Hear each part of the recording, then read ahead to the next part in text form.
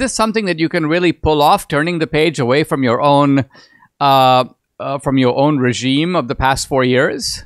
Yeah, Kamala likes to pretend that she's just been a bystander and she really has nothing to do with Joe Biden. It is one of the most uh, crazy things I've ever seen. And she's really hoping that her gender and her race define her difference rather than her policies. She's very rarely ever talked about her policies during the debate.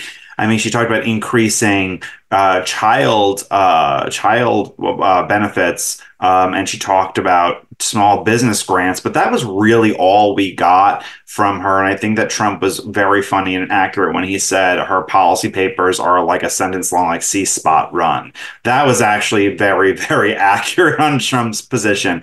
Um, yeah, and she's really hoping that she can make this election um, an abortion election. I mean, that's really what she's running on. She's running on this as being a democracy election. When I was on CNN earlier last week, I said, you know, she is somehow in the last thousand days at the age of 60 transformed from a Bernie Sanders Democrat to a almost George Bush Republican who's pro-choice. She has been talking about completely different things and really trying to run not just as an establishment or centrist, I would say, but really as a um, Republican of 25 years ago, very hawkish on border stuff, on border stuff rather, very hawkish on foreign policy and military stuff, really very light on a lot of other things, but just keeps saying uh, her staff rather, not her, but her staff keeps saying I don't believe uh, that she doesn't believe in these things anymore.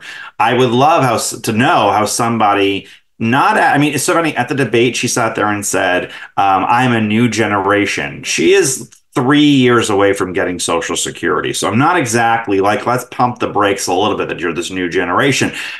I would love to know somebody at a very advanced age has such a transformational belief, not about one thing, not about two things, not about how they feel about a certain person, but on every major issue that they've ever talked about, aside from abortion, she has had a fundamental transformation in a thousand days, and she has never discussed how she got to any of those conclusions.